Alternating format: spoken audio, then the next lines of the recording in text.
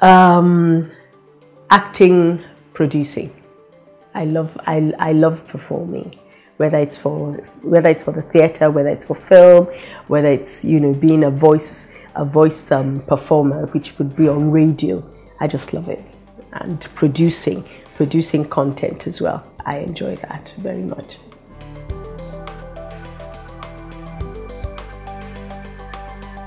Um, I get asked that question all the time, and I really can't say because it really depends on the material.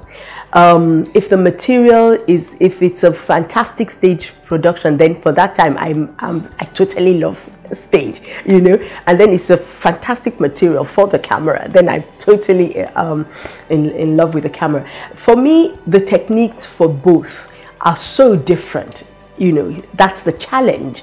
And usually sometimes you know you're coming from um, uh, from a from a theater production and then the next job you get is on film.